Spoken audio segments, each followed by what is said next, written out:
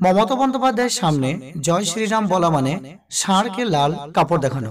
হ্যাঁ বন্ধুরা ঠিক এইরকমই মন্তব্য করলেন একজন মন্ত্রী। তো বন্ধুরা কে বললেন যে মমতা বন্দ্যোপাধ্যায়ের সামনে জয় শ্রীরাম বলা মানে ষাঁড়কে লাল কাপড় দেখানো।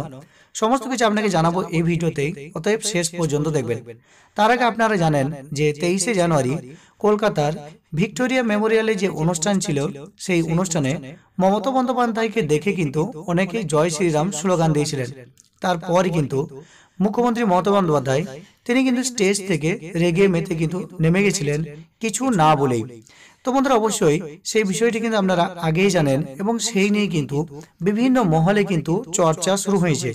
এরপর কিন্তু একজন বিশিষ্ট মন্ত্রী তিনি কিন্তু জানাচ্ছেন যে মমতা বন্দ্যোপাধ্যায়ের সামনে জয় শ্রীরাম বলা মানে ষাঁড়কে লাল কাপড় দেখানো। তো বন্ধুরা অবশ্যই শেষ পর্যন্ত দেখবেন সমস্ত কিছুই বুঝতে পারবেন। শেষে ভিডিওটা ভালো লাগলে অবশ্যই ভিডিও নিচে একটা লাইক করে ভিডিওটি কিন্তু জনস্বার্থে সকলের মধ্যে শেয়ার করে দেবেন। চ্যানেল প্রথম হয়ে থাকলে অবশ্যই চ্যানেলটিকে সাবস্ক্রাইব করে পাশের বেল আইকনে প্রেস করে নোটিফিকেশনটা অল করে দেবেন।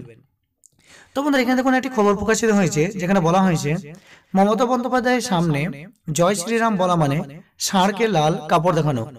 এই জন্যই কিন্তু উনি ভিক্টোরিয়া মেমোরিয়ালে ভাষণ বন্ধ করে দিয়েছিলেন। টুইট করে রাজ্যের মুখ্যমন্ত্রীকে এইভাবে আক্রমণ করলেন হরিয়ানা স্বাস্থ্যমন্ত্রী ও বিজেপি নেতা অনিল ভিজ।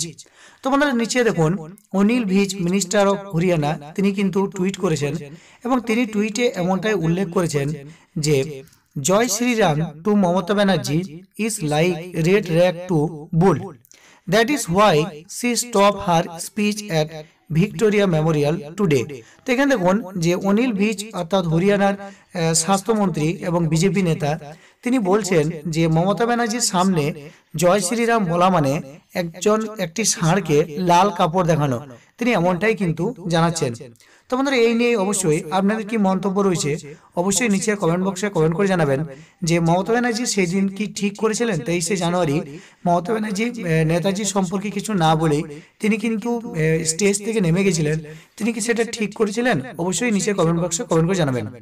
এবং এটাও কমেন্ট করে জানাবেন, যারা কিন্তু সেই মুহূর্তে জয় শ্রীরাম বলে মুখ্যমন্ত্রী মমতা ব্যানার্জিকে অপমান করেছিলেন একটি সরকারি অনুষ্ঠানে সেটা কি তারা ঠিক করেছিলেন? আপনার মতে কোনটা ঠিক? অবশ্যই কিন্তু আপনারা নিচের কমেন্ট বক্সে কমেন্ট করে জানিয়ে দেবেন। আজকে এই পর্যন্ত, দেখা হচ্ছে পরবর্তী ভিডিওতে। ততক্ষণ পর্যন্ত ভালো থাকবেন, সুস্থ থাকবেন এবং টেক ইন্ডিয়া ইউটিউব চ্যানেলের সঙ্গে থাকবেন।